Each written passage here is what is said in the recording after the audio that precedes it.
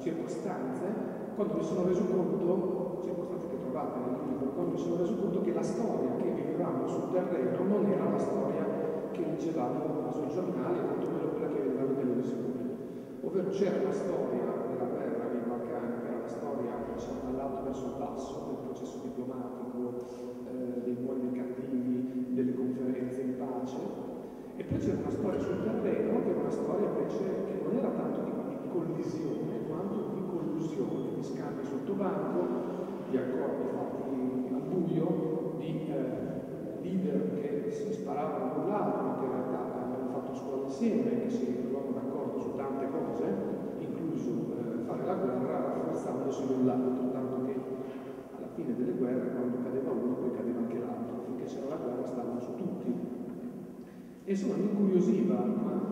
mi mordeva la questione di quale fosse la logica. Eh, se si mettevano le due immagini una sopra l'altra, eh, l'immagine dall'alto e l'immagine dal basso della guerra vissuta eh, sul terreno non coincidevano, erano due guerre diverse. Questo mi ha spronato a rifletterci e a prendere la parola, dopo che usciti uscito vari articoli su varie riviste in Italia e all'estero, io lavoravo all'università, a quel punto insegnavo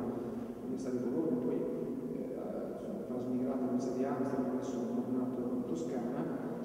e cercai di articolare un percorso che introducesse eh, un'analisi imponderabile, ovvero di tutti i fattori extralegali eh, nelle diverse sfumature di eh, illiceità o di criminalità che uno può ipotizzare, dal settore criminale vero e proprio, traffico di velivoli, di armi, di droga, fino alle novità del settore informale in, nel corso delle guerre e del libro cerca di saldare la questione della guerra come della pace, cioè cosa della guerra ci illumina la pace, cosa della pace che stiamo cercando di costruire eh, ci rivela del tipo di guerra che c'è stata prima. Quindi è un tentativo di problematizzare guardando alle economie. Eh, questo percorso sta accompagnato da tantissimi personaggi che hanno attraversato lo stesso intendimento. Uno lo ricordo il suo testo è stato forse più importante all'epoca, è Luca Rastella, che oggi è giornalista Repubblica, prima era direttore della rivista Narcomafia, lavorava col gruppo Avelia su a Torino, che scrisse un libro per i Naudi nel 98 che si chiamava La guerra in casa e che avendo ospitato 48 rifugiati e profughi nella sua casa in montagna sul Gran Paradiso, ne racconta le storie e da queste storie erano nate una descrizione della guerra del tutto inedita. Da lì è nata lo stimolo e il tentativo di rifletterci anche con un tono che si avvicinasse il più possibile a una tradizione scientifica. Il libro nasce come un libro che voleva essere un saggio accademico, ma mano lo scrivevo eh, mi mancavano le fonti, ho dovuto andare a fare un lavoro di indagine, di investigazione sul terreno, se volete vi faccio vedere un po' di foto che vi fanno vedere il Balcano come la Sicilia eh, degli scontri tra mafie, quindi poco hanno a che vedere con le immagini dell'assedio, molto hanno a che vedere con le immagini delle, delle, degli scambi di favore e degli omicidi eccellenti. E eh, lungo questo percorso eh, ho cercato di eh, andare verso lo scientifico, verso l'accademico, se non per il fatto che poi l'editore mi ha detto, ma guarda, qui c'è materia per una trattazione più ampia, mi interessa anche semplicemente cooperando, un cittadino informato, qualcuno che voglia farsi un'idea eh, leggermente diversa di dove passa il confine tra eh, illegale e illegale nel momento in cui si muovono eh, le macchine della guerra nell'epoca della globalizzazione, della finanza, dei paradisi fiscali, della contraffazione delle marche, che, che, delle marche delle griffe che illuminano i desideri eh, di consumo delle, delle, delle masse nelle situazioni di periferia, per legarlo anche all'insegnamento che sto svolgendo. Dovremmo tornare su questo aspetto a sua volta paradigmatico del confine tra legalità e illegalità nell'epoca della globalizzazione, perché è una cosa che non riguarda solo i Balcani, quindi è, è più generale. Hai già introdotto un tema che tocca spesso nel tuo libro, è quello della duplice dimensione, la notte e il giorno, il sopra e il sotto, la legalità e la illegalità. Da questo punto di vista hai assunto un'immagine, secondo me, molto molto felice e, e, che permette anche di capire che non sia solo un volume accademico, ma sia un volume che appunto fa cultura, promuove cultura eh, per un raggio più ampio di lettori ed è quello del, del film underground, no? eh, dove peraltro il tunnel eh, di Costurizza è un tunnel che non va solo sotto la ex Jugoslavia, ma parte da Atene a Berlino, per dire come poi questo paradigma di qualcosa di sotterraneo attraversa tutta l'Europa dell'Est. E ovviamente non puoi non parlare anche del tunnel che dall'aeroporto da Dublin, Dublin a Sarajevo portava verso la libertà. Ecco, vorrei tornare un po' su, su, questa, su questa immagine, molto felice che indubbiamente Costurizza, al di là del fatto che faccio già un teatro dei sangiovesi, rende con un particolare intelligenza. C'è questo eh, tunnel sotterraneo che caratterizza costantemente eh, eh, la guerra di Bosnia, ma anche le trattative, cioè le trattative ufficiali, no? eh, che peraltro hanno legittimato i Milosevic o altri personaggi, ma a livello sotterraneo succedeva sempre qualcosa d'altro. Succedeva qualcosa d'altro, come dico nella, nella introduzione, un po' come no? l'ufficiale che nel, libro La certosa di Parma si trova eh, sul, sullo scenario di guerra e guardandosi intorno vede solo caos, non capisce, è abbattiato fumo, dalle esplosioni. Eh, a starci un po' dentro, dopo un po', eh, questo, questo bagliore, di stordimento va scemando e uno comincia a discernere l'ombra che si muove cosa fare, comincia a vedere dentro il tunnel cosa si muove. Eh, cosa si muoveva all'epoca? Beh, si muoveva innanzitutto eh, 500 latitanti legati alle organizzazioni criminali italiane sulla costa eh, dalmata e montenegrina avevano piena cittadinanza, senso avevano il passaporto e, e, si muovevano legando, allacciando canali che si devono poi montare per esempio da Sacaconi del Puglia negli anni 90, che fu un episodio che in parte rientrava, in parte rimane, insomma. Eh, si muovevano enormi interessi legati al traffico di armi, che io trovo documentare per quelle che erano le fonti disponibili, che sono le fonti disponibili, si muovevano eh, pesantemente eh,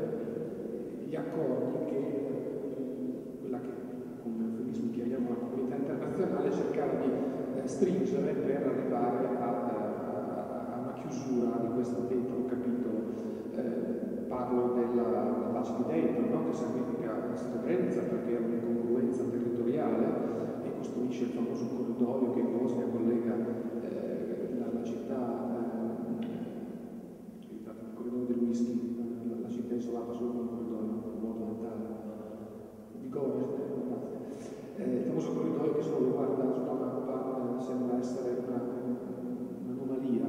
Eh, sono accordi che venivano sanciti e stabiliti sotto banco, così come si, si, si, si, quello che si negoziava erano i colpi di mortaio nel, nel massacro della città di Mosca, presumo che Dario Terzi se ne abbia accennato, essendo stato uno dei cronisti più importanti, una voce delle più importanti in quegli anni, eh, il cannoneggiamento era pagato a solo migliaia di euro di Deutschmark all'epoca, per cui si chiamava, diceva quanto vuoi per un Il, eh, quando la Nato interviene e comincia a bombardare, lanciamo, rilanciamo il nuovo, quindi c'è tutta una questione di architetture mondiali, perché la Nato all'epoca difensiva legata alla guerra fredda, la guerra fredda era finita, la Nato cominciava a concepire il proprio ruolo, un nuovo, un nuovo assetto strategico che andava verso quelle che venivano chiamate operazioni, operazioni autoaerea, no? quindi anche di proiezione della sicurezza, non semplicemente di reazione in caso d'attacco. Ecco, la Nato per la prima volta muove gli aeroplani sui cieli di Bosnia e i primi due aerei che abbatte sono due aerei della, della, del, lasciati dall'armata federale jugoslava ai serbi di Bosnia, ma stava era una missione per conto dei croati di Erzegovina, cioè stati pagati per colpire e abbattere alcune postazioni eh, musulmane, la Nato intervenuta le ha tirate giù, eh, convinti di aver fatto il proprio ruolo, ma in realtà il patto sotterraneo era eh, bene A guardarci molto bene, però questa immagine della notte che utilizzo, insomma, il tentativo di utilizzare una metafora, ci dice moltissimo anche dei dopoguerra. E in particolare io mi, mi soffermo molto sul dopoguerra in Kosovo oggi e mi soffermo per un motivo fondamentale che il Kosovo è una, un punto, una pietra d'inciampo, un cerino se volete che rimane in mano all'Unione Europea. Eh, il test sull'Unione Europea oggi montando un'operazione enorme che si chiama EULEX, dove sta per legge, quindi la legge dell'Unione Europea, lo standard, le norme, quello che è normale per l'Unione Europea, oggi l'Unione Europea sullo status e sullo stato della situazione in corso si gioca il proprio status internazionale. Cioè, esiste Europa nel mondo, ma anche in cui, soprattutto in cui in Kosovo riesce ad articolare un progetto che è il progetto di allargamento di tutti i Balcani alla prospettiva europea, non è solo un progetto di politica estera, ma è un progetto verso una regione che domani diventerà l'Europa. E per poter capire cosa, cosa è successo in Kosovo negli ultimi dieci anni, questa è la tesi del, del libro, occorre andare a guardare le ombre del dopoguerra, cioè occorre andare a guardare non solo soltanto la violenza tra serbi e albanesi che segue la guerra, ma anche andare a guardare le violenze tra eh, diverse fazioni eh, kosovaro-albanesi, così come alcuni accordi e marchingegni intorno alla questione delle minoranze serbe rimaste. Io provo eh, a velare alcune fonti, eh, altre non le posso rivelare perché ci sono problemi anche di andare pubblici su alcune cose, però cerco, cerco di costruire un quadro interpretativo di questa, di questa alba che in realtà si presenta senza, senza sole, eh, che è il quadro grigio dei Balcani oggi, in qualche misura, non tutti i Balcani, ma se qualcuno legge ovunque, in qualunque rapporto intelligence sul Kosovo che il crimine organizzato è il problema numero uno del paese. E dall'altra parte non esiste un singolo dato su un carico di eroina confiscato eh, o comunque si continua a far finta che il problema non ci sia, allora c'è una schizofrenia di fondo eh, che è quella di dire se applichiamo lo standard di cose giorne, cose notte, cose legali, cose illegali a quella regione oggi, rischiamo di destabilizzarla, cioè di, di portare, di, di stigmatizzare, di portare in carcere potenzialmente le persone che dovrebbero sederci a negoziare la stabilità. E, e qui c'è un problema enorme, che è un problema politico, ed è un problema che non è solo kosovaro, è un problema che è, è, un problema europeo, è un problema italiano. Io proseguo con le domande, poi lei Giovanni quando fa vedere le immagini. Ecco, questa è economia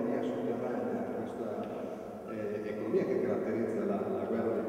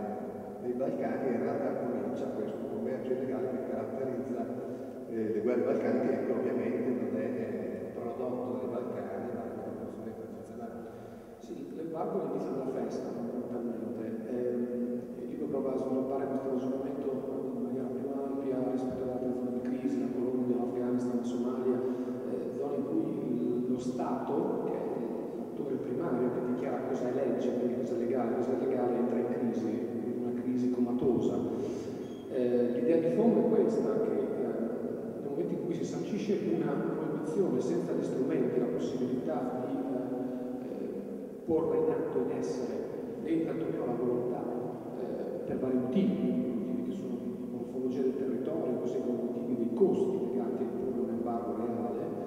eh, si fa lievitare il prezzo della merce contrabbandata, ovviamente a diverso livello, a diversi attori. Ora,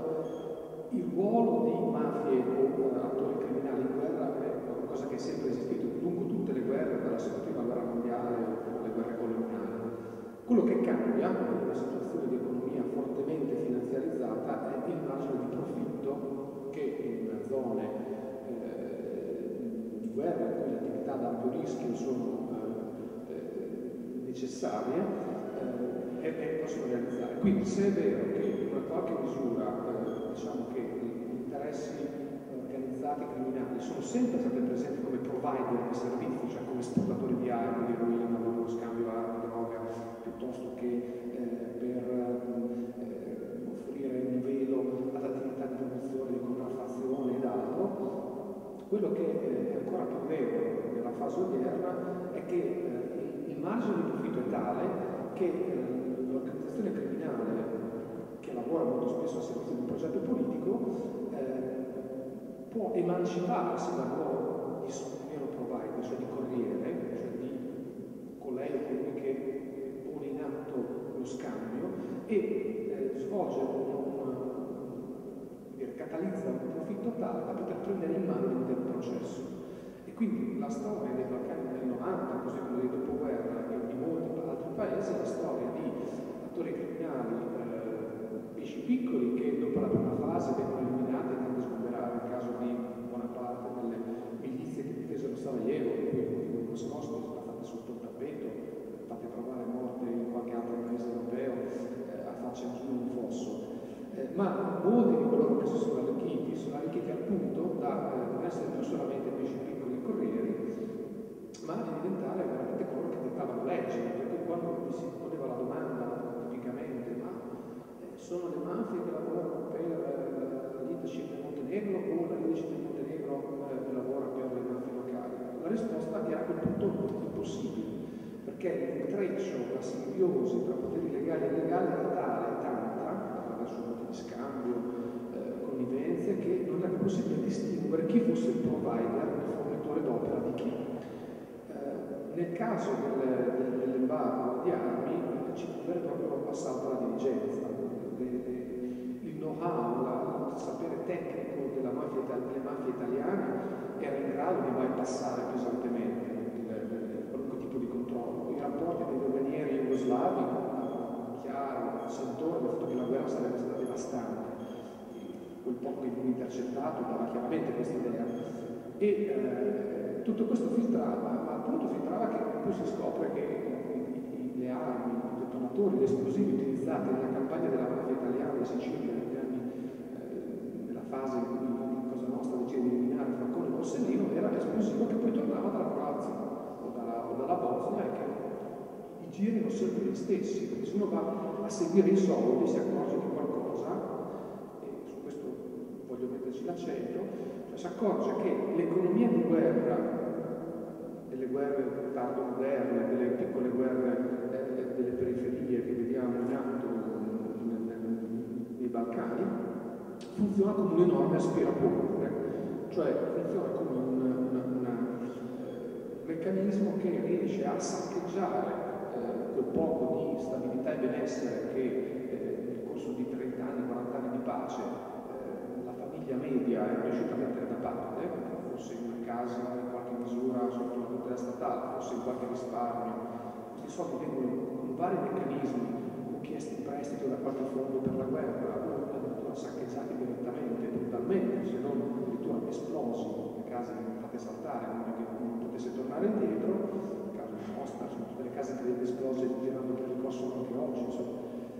E eh, questa espropriazione in massa dove è andata a finire? È andata a finire semplicemente, è stata convogliata laddove la realtà finanziaria è sicura, cioè in conti all'estero, in, eh, in qualche caso, nel caso del Montenegro, il tesoro del Montenegro, nel senso del Ministero del Tesoro, nei conti in Svizzera, eh, nelle banche cipriote e nei conti cifrati alle Bahamas. Questo è nuovo, questo esisteva nell'economia di guerra prima, noi siamo abituati alle economie, a pensare all'economia di guerra con un grande sforzo eh, collettivo in cui la disoccupazione sparisce, quindi vengono impiegati. In realtà quello che avviene in queste guerre è che la disoccupazione va a mille, nessuno produce più niente, nessuno produce più nulla e al contrario si ha una grandissima instabilità sul territorio. La guerra in Bosnia erano mille chilometri di fronte, frastagliato, disperso, difficile comprensione agli occhi anche di lavorava sul terreno molto spesso, con punti che cambiavano completamente. Ma faccio una questione su questo. Che cos'è il rapporto tra guerra e crisi economica se non lo spostamento costante del confine su cosa sia dichiarabile lecito o meno, cosa sia patriottico o meno? La provocazione la faccio su un dato recente, usato in enormità, me ne rendo conto, ma per argomento. Quando può uscire da una crisi economica come quella attuale, i governi hanno come strategia, l'unica strategia possibile, perché non possono svalutare la, moneta, non possono fare una serie di manovre perché stanno sotto la, la Banca Europea, eccetera, eccetera. L'unica mossa è quella di spostare l'immagine di cos'è diritto legale, per cui si, si, decide che si possono allargare le case di 20-40%, eh, si decide che è possibile fare qualcosa che prima non si poteva, questa cosa ha costo zero nominalmente, in realtà ha un costo sociale. Moltiplicate questo per un milione, in qualche misura si arriva a una logica che illumina secondo me un po' delle cose. Sì, infatti per questo prima accennavo al fatto che poter scardinare dei paradigmi consolidati il tuo volume ne introduce altri, numeri importanti e, e, e comparabili e, ad altre realtà, che determinano soprattutto la comparabilità di altre realtà rispetto comunque all'unicum, questo giova a ribadirlo della guerra dei Balcani nell'ultima fase del, del, del, del secolo XX. E su questo torneremo, ha introdotto dal punto di vista anche accademico, perché appunto che nasce eh, con questo obiettivo, eh, alcune riflessioni particolarmente interessanti proprio di scienza politica sullo Stato, eh, richiamando termini eh, che si adattano anche alla nostra realtà. Hai citato più volte la mafia, l'omicidio tuo volume, il commercio di eroina personaggi che vanno dall'area balcanica. E, e, tu dici in particolare che la guerra nella ex Jugoslavia è, è, un problema, non è un problema tanto etico quanto politico che riguarda lo Stato. E questa economia illegale eh, riporta l'attenzione a due definizioni particolari, lo Stato prigioniero e lo Stato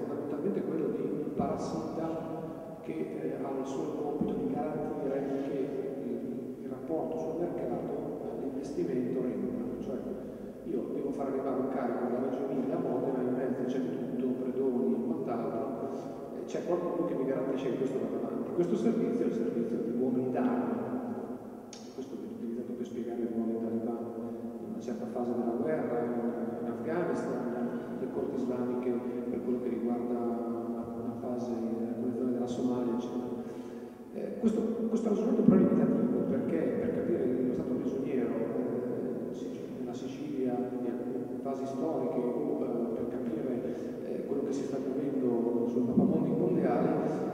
eh, si dimentica quando le mafie, i gruppi, gruppi militari politici diventano imprenditori in senso proprio, cioè quando riescono ad arrivare a intraprendere, eh, sono portati alla borsa, alla borsa di Zurigo, stabilendo legami con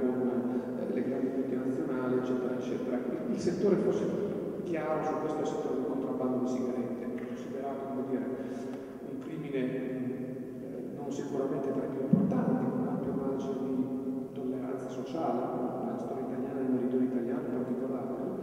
Ed è una storia incredibile se non la segue, e prova a ricostruirla, perché porta insieme il pescatore di Ostuni in Puglia, che a un certo punto si accorge che faceva più soldi se eh, contrabbandava bionde, sigarette verso le coste parastagliate del Montenegro e finisce a regalare tutti gli uniformi alla polizia montenegrina che, sta, che va a costituire il monopolio della, della, della forza pubblica nella nascente Stato, Repubblica Stato del Montenegro. E eh, dall'altra parte questa linea parte con delle piccole storie dei piccoli pescatori dai 36.000 eh, uomini legati al settore eh, del contrabbando nella, nella Puglia, negli sbarchi anche clandestini, dei grandi esodi in Albania e quant'altro e porta direttamente a Richmond, Virginia, dove eh, le grandi multinazionali del tabacco sono completamente conniventi, quindi conniscenti rispetto al fenomeno, per cui ogni volta che partiva un carico verso il porto di Anversa, partiva una telefonata verso il contrabbandiere zona di stoccaggio in Sicilia e c'era un uomo che stava in Svizzera che garantiva che tutti questi passaggi andassero in porto. Tutto questo fondamentalmente rubando soldi all'erario pubblico, alle tasse italiane e europeo. Questo enorme meccanismo è un orologio che funziona perfettamente per molti anni, in parte è stato poi debellato, ma eh, porta fondamentalmente a rapporti simbiosi e come gli stati si modificano. Noi continuiamo a dire Stato, ma in realtà lo Stato oggi non ha più le funzioni dello Stato di molti anni fa. C'è un esempio, forse interessante, sempre stando su chi usa le pistole, che lo trovo particolarmente allarmante, ed è l'esempio della Bulgaria, del rapporto tra Stato mercato in Bulgaria. Lo dico veramente in un minuto. Eh, uno l'idea che la fase di liberalizzazione economica della Bulgaria post-socialista sarà guidata dal mercato, che il mercato aveva portato grandi turbulenze, disastri sociali, ma che alla fine del male questo si è assestato. La Bulgaria oggi è un paese che sta dentro l'Unione Europea e più o meno sembrerebbe stare dentro alcuni canoni. In realtà, se non guarda meglio, tutta l'operazione di privatizzazione eh, in Bulgaria è stata fortemente pilotata da apparati statali, eh, servizi segreti, società di import-export più o meno pilotate, che utilizzavano prestanome, uomini e donne facilmente ricattabili, vicini al carcere, o comunque persone che dovevano poi ripagare il debito per, che veniva concesso per poter entrare nel gioco del mercato, per il capitale iniziale Ovviamente per costringerli a ripagare il debito iniziale, a essere vincolati, c'erano dei cani da guardia, questi cani si chiamavano i nutri, anche sotto il nome comunque state di lottatori, erano veramente il sottoposto, l'underground delle, delle palestre di karate, di, di, di judo, di, di, di turismo. E queste società che noi diciamo, vediamo come un fenomeno così di gangsterismo da poco prezzo, no, non lo è, perché quando vengono bandite queste forme di racket si riciclano in società di si mangiano buona parte delle imprese che in qualche misura controllavano, obbligandole ad alcune fusioni piuttosto che altre, distruggendo completamente i meccanismi di mercato e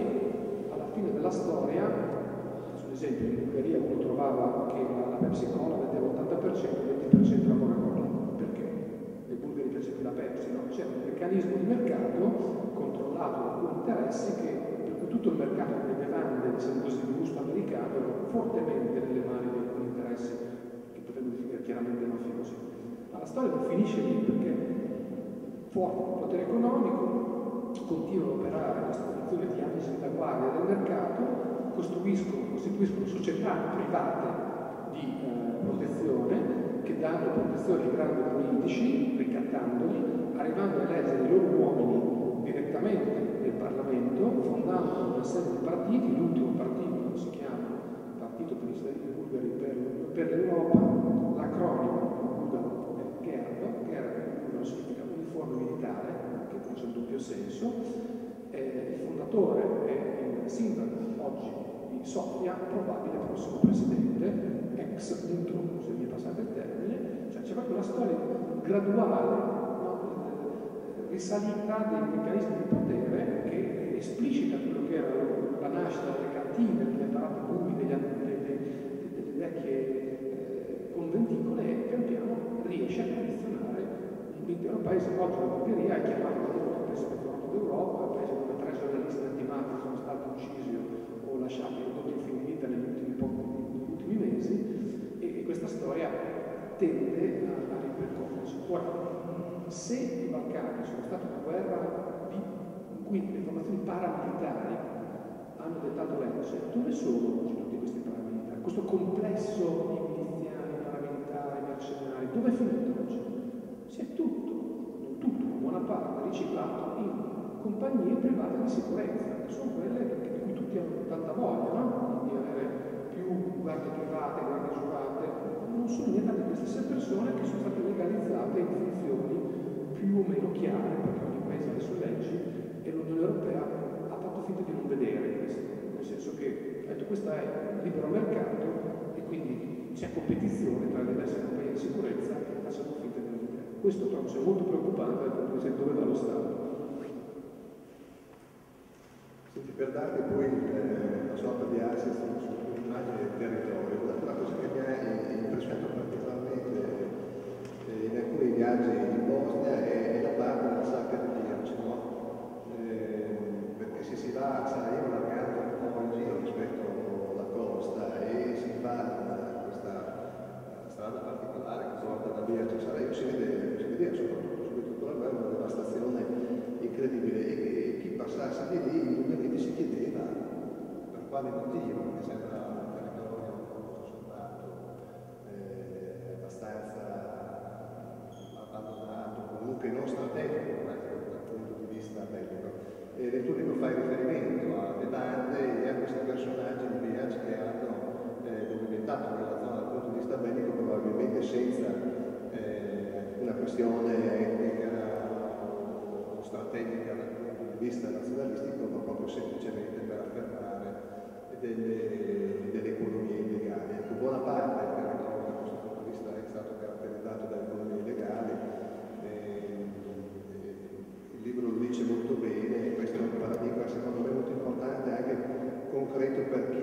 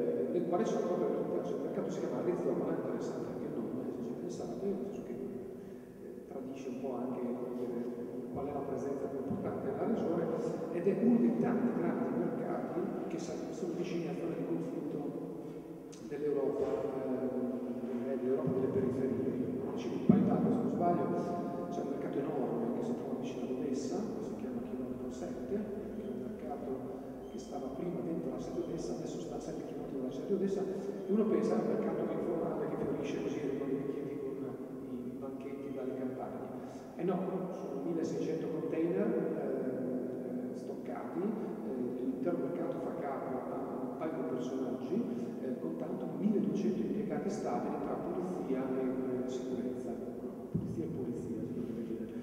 Eh, ed è un mercato in cui abbiamo solo una 1200 visitatori da tutta la regione. Eh, Odessa è una città importante perché sui confini eh, dell'Unione Europea di domani in qualche misura, non sarà mai parte dell'Unione Europea,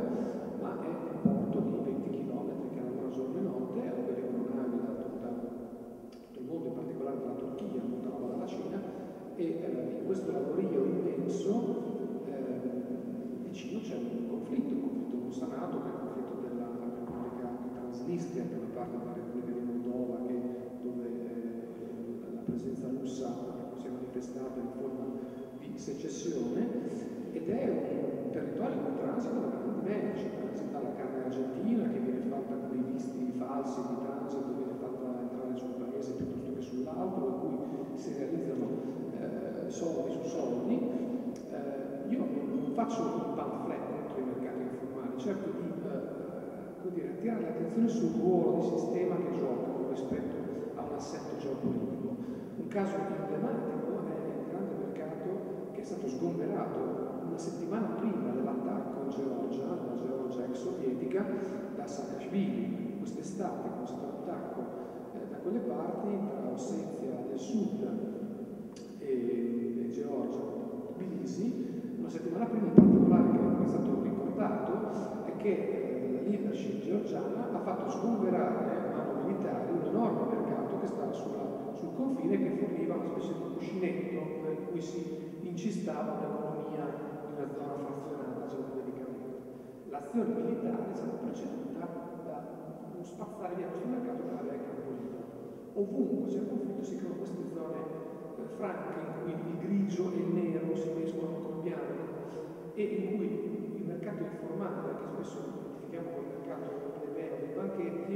eh, si collega, si guarda bene, con il mercato informale invece dei grandi conti, dei grandi conti cifrati, e che è è quello dei profitti che vengono fatti apparire come perdite, con un trucco contabile che viene depenalizzato e poi la cosa passa più o meno in sordina. Posso vedere questo paio di immagini? Eh, questa è, questa è Pristina, è un'immagine dello scorso anno. No? Questo grande centro commerciale si trova al centro Pristina. La scritta che vedete è Newborn si riferisce alla, alla nascita dello Stato del, del Kosovo come Stato indipendente, quindi è una specie di fiocco azzurro, forse si potrebbe dire a seconda delle lenti di genere che adottiamo, che ancora una volta, utilizzando l'idea della, della nazione come un organico, quindi della perdita del territorio come una mutilazione, si torna dietro dall'annunzio della vittoria mutilata, un tipo di retorica per chi di voi ha passione per la storia, mette insieme in maniera secondo me molto interessante un'immagine notturna, io ho posto questa come copertina del libro, me l'hanno bocciata, eh, l'idea appunto del nazionalismo che eh, abbiamo conquistato il posto al sole delle nazioni, il grande centro commerciale, il grande mall con tutte le varie, diverse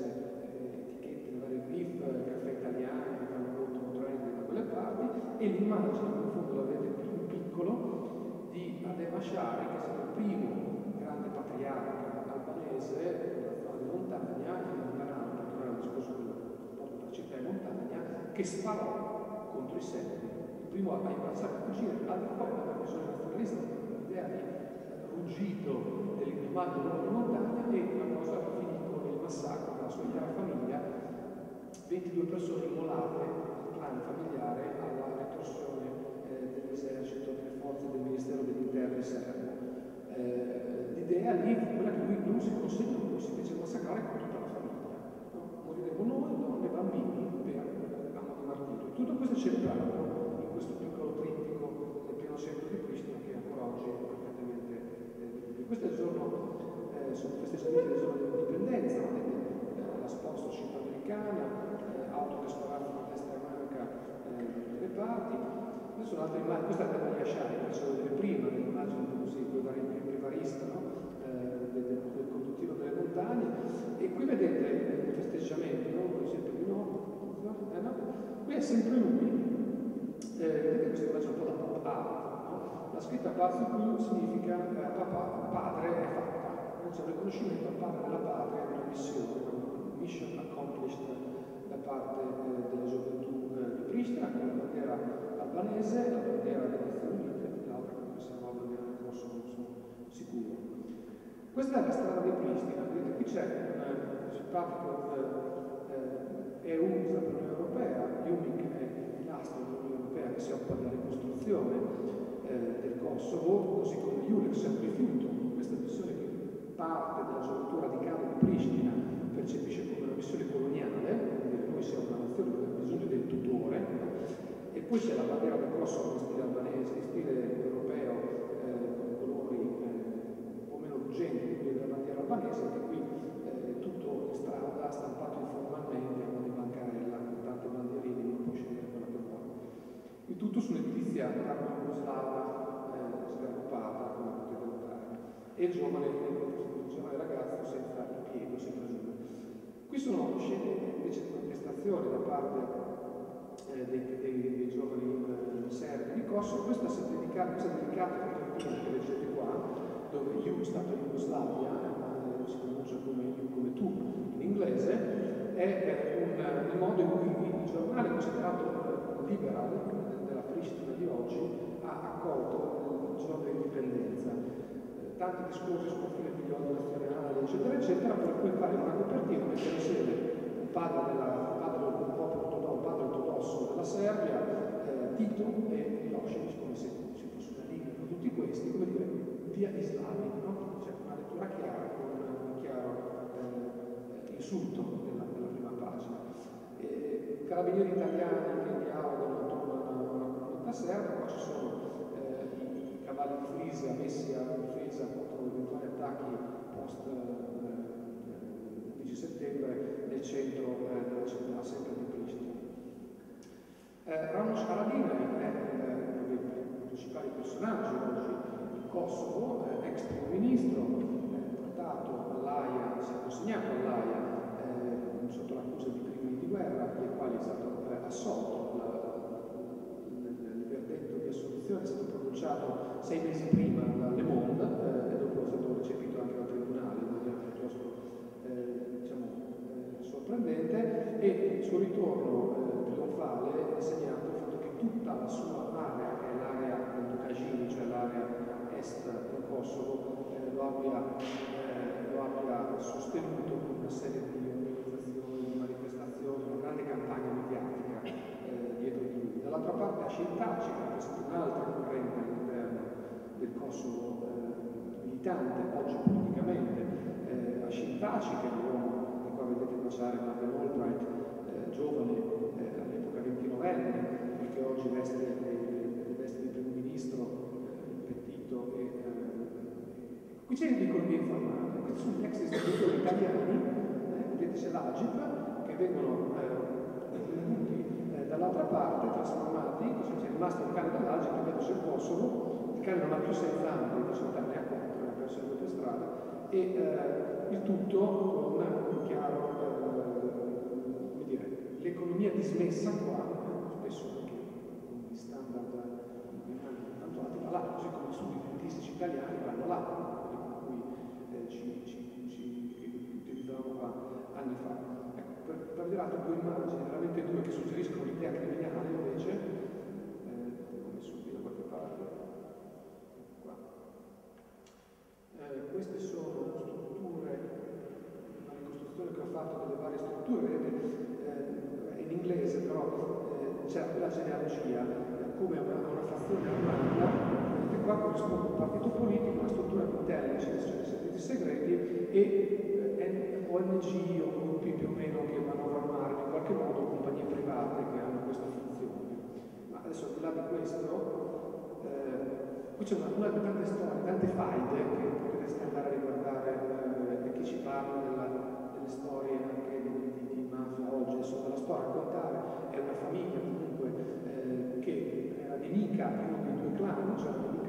Sciarabinei, l'ex primo ministro finito all'AIA, eh, i quali vengono, alla fine della guerra vengono rapiti e uccisi, con l'eccezione di uno che riesce a scappare perché conoscono dei carcerieri, è uno dei capi di imputazione contro la Dinei, le manifestazioni per sostenere che la cosa non è mai avvenuta eh, e a uno a uno i testimoni vengono eh, ammazzati, uno a uno, chi qua, chi là, le scene non sono scene di guerra. Vedete una scena come questa, mi viene in mente l'esecuzione di un giudice Italia. C'è il personaggio in questione, sempre lui, eh? il personaggio in questione era capo della fazione sbagliata all'interno delle, forze armate di oggi eh, kosovaro-albanesi. Ho trovato esecuzioni invece eccellenti, con tanto per la cognata che stava in macchina, un cliente dei vaganti, come era stato a può venire per i vicoli di Napoli, eh, questo è l'unico testimone che è sotto protezione, autobomba, eccetera, eccetera. Queste sono immagini non facili da reperire perché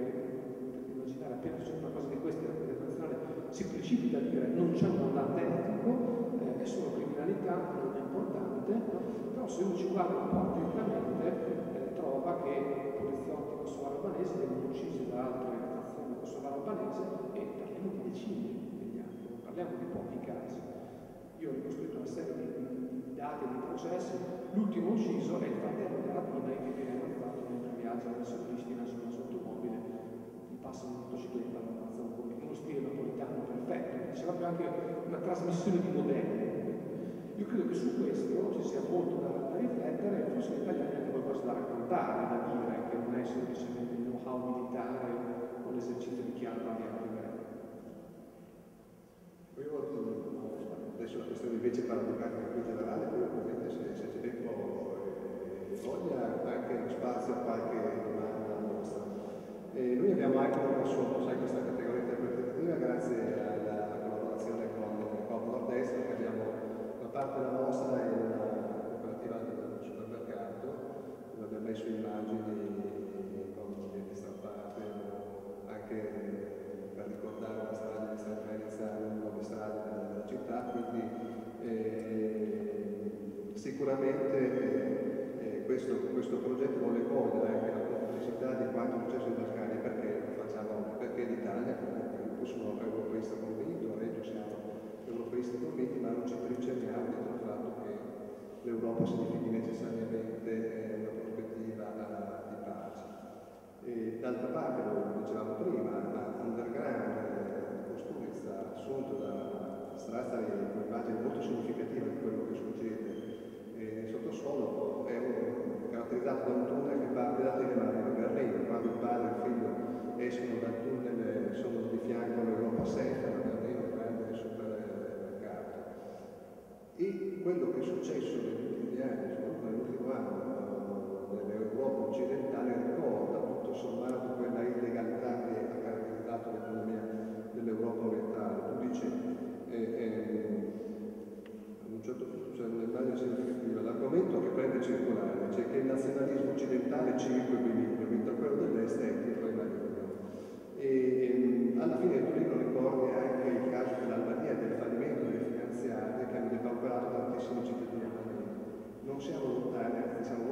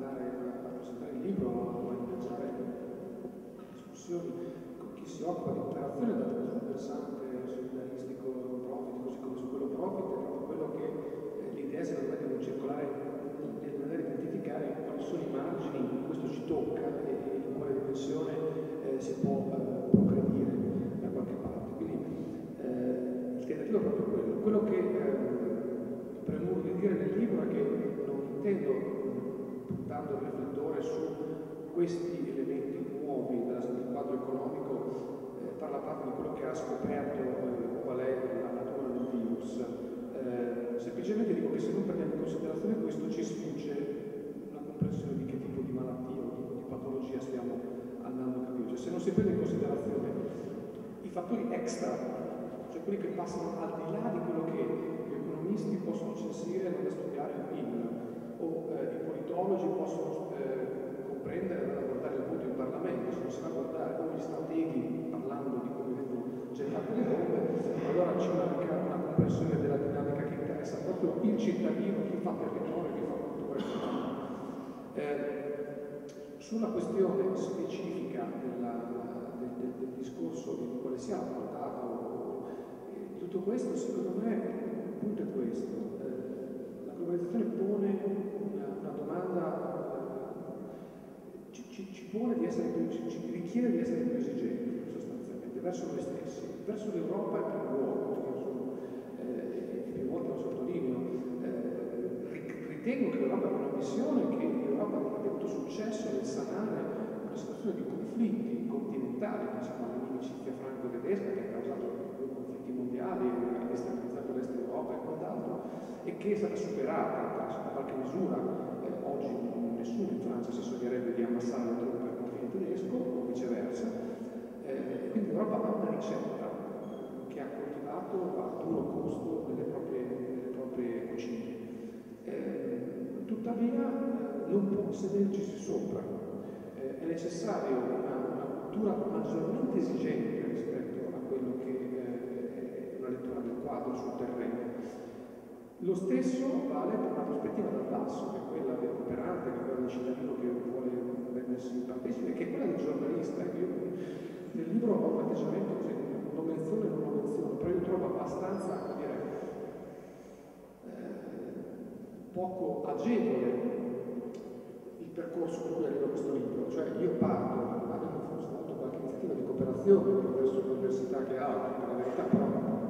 avendo lavorato con operanti sul terreno, eh, dopodiché sviluppo tutto questo in chiave accademica, ma mi rendo conto che mi mancano le fonti, cioè metà delle fonti che trovate nel libro, io ho cercato di essere scrupoloso nel valutare da dove mi arrivavano queste notizie, sono fonti che mi sono andato a cercare io, cioè ho dovuto fare un lavoro di riflessione e di scavo per trovare reperto la, la cioè ho dovuto fare giornalista. Allora io mi chiedo, per una cultura di mercato sostenibile, di socialità, di e anche per identificare quali sono le possibilità di commercio, è possibile avere tutto questo se non esiste una cultura esigente rispetto al ruolo dell'informazione, della responsabilità dell'autorità pubblica e degli operatori economici? Il libro va in quella direzione. Quadro è difficile e complesso, però non possiamo negare che siamo legati a doppio filo con quello che succede nei Balcani, in mille modi, non sono solamente i flussi migratori, ma sono anche i rapporti tra territori, economie, eccetera, eccetera. Credo che se ci limitiamo a dire che i Balcani sono quella roba là dove c'è la guerra, dove producono più storie di quelle che possono digerire, se dividiamo tutti in cliché e l'Europa sarà la medicina, eh, ci culliamo in un ottimismo che non ha nessuna ragione, che semplicemente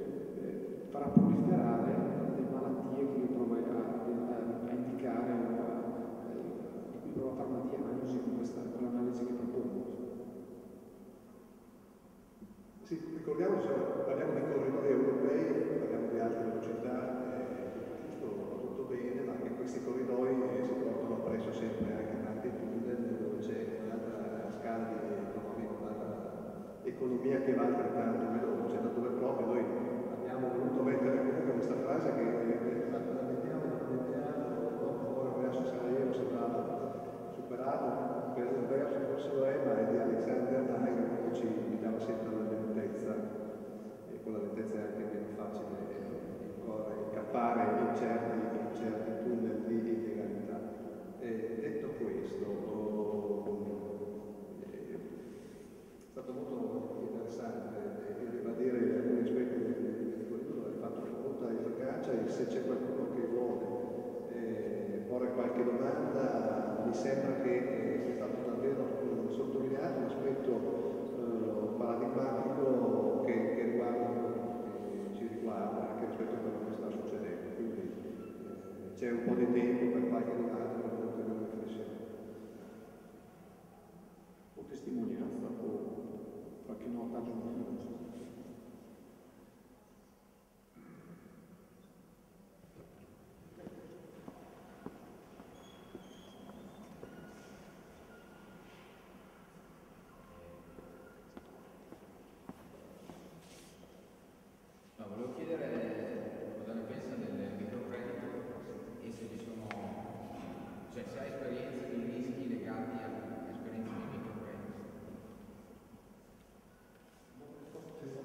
Sono abbastanza ignorante in materia, ho una percezione che è dovuta a due cose, è un po' schizofrenica. Da, un certo punto di vista, alcune esperienze che ho avuto di visitare, magari da profano, sono parse interessanti da incoraggiare eh, sul impatto micro. Pensare che il microcredito però d'altro canto rappresenti una eh, soluzione, cioè un, modo di affrontare una situazione di assenza di istituzioni, di Stato, eccetera, eccetera, semplicemente immettendo attraverso canali eh, ristretti, trovo che a volte eh, sia abbastanza miope. Eh, non credo che il microcredito di per sé rappresenti la soluzione eh, laddove c'è un'assenza di, eh, per dire, eh, ragionamento su quale è il posto di una determinata regione o di un paese nell'economia mondiale. oggi si può dire Bosnia o in Kosovo che sia realistico dirlo, ma anche, come dire, triste. Eh,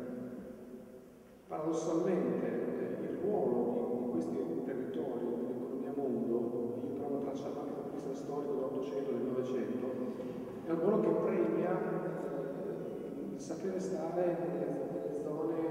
più alte la redditività, la, la redditività più alta è la redditività che dove c'è il maggiore rischio, il rischio più alto dove c'è l'illecito.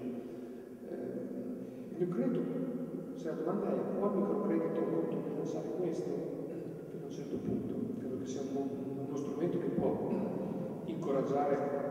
alcune attività se ben calibrato, ma non credo che possa riproporre il vero problema che è dell'indirizzo del potere pubblico rispetto all'economia. Qua abbiamo un potere pubblico che si è ridotto al municipio e che ha creato enormi sacche totale minimo, cioè di mancanza di eh, principio. Uno dei problemi, secondo me, sono più importanti oggi, ragionando di, di, zone periferiche d'Europa, zone in particolare che hanno vissuto la guerra, sono, secondo me, quelli che io chiamo senza arroganza i figli del caos, che io li vedo arrivare all'università, cioè che sono studenti che sono fuori da zone, dire, eh, che sono state martoriate da bellici, hanno vissuto una transizione o un'attenzione al mercato della democrazia che era, è stata molto vicina a una guerra, se non è stata una guerra in senso pieno e compiuto,